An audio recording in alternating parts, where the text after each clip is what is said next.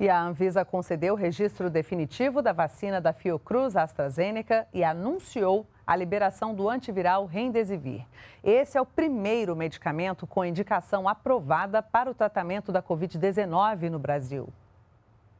A vacina de Oxford, produzida pela Fiocruz, agora tem registro definitivo da Anvisa. Este é o segundo registro liberado no Brasil. O primeiro foi da Pfizer BioNTech. Quando a gente pensa, por exemplo, na questão do, é, dos indivíduos que poderão ser vacinados com essa vacina, a gente tem que são, é uma vacina que vai ser utilizada para indivíduos acima de 18 anos, que toma uma dose de meio ml intramuscular, seguida por uma outra dose de meio ml no intervalo de 4 a 12 semanas após a primeira dose. E qualquer indivíduo que tiver hipersensibilidade ou qualquer reação ou qualquer é, qualquer questão relacionada ou ao princípio ativo ou aos recipientes não deve, não deve tomar essa vacina. A vacina já está sendo aplicada na população aqui no Brasil. Em agosto do ano passado, um acordo do governo brasileiro com o laboratório AstraZeneca garantiu a produção da vacina por aqui. Quase 2 bilhões de reais foram investidos para apoiar as pesquisas e ampliar a linha de produção da Fiocruz, que deve entregar ao Ministério da Saúde mais de 200 milhões de doses até o final do ano.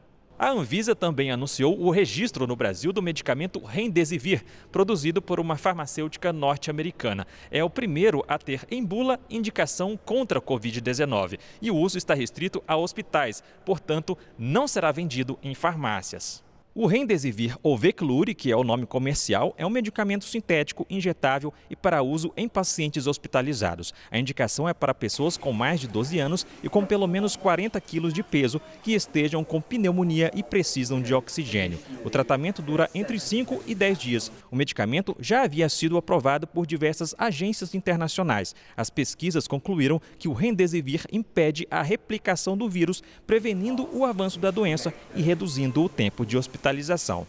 Os pacientes no grupo do Remdesivir levaram, em média, 10 dias para se recuperar, né, uma mediana de 10 dias, em comparação com 15 dias dos pacientes que não receberam Remdesivir. Portanto, eles tiveram um tempo menor de recuperação, eles deixaram é, o hospital em menor tempo.